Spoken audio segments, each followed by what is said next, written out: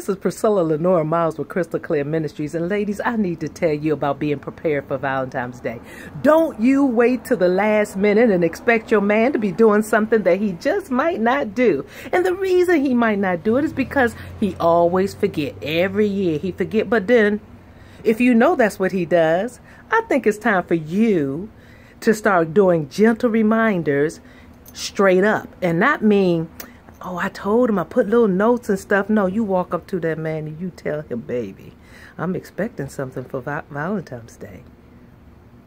Now, let him know what you expecting, flowers, dinner. If he wants to do something extra, let him do that. But let him know. Don't assume. Don't put that stress on that man. He don't know what to do. He don't know what you want. Now he's supposed to know what I want. No, no, he don't know.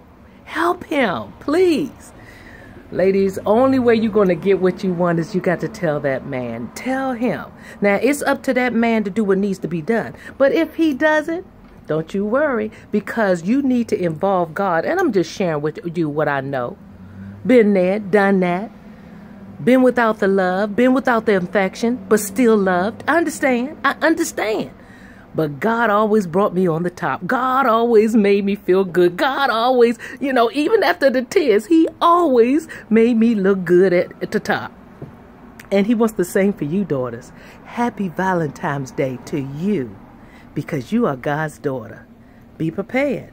Know what to do. If things don't happen, let God bless you. Amen. Happy Valentine's Day.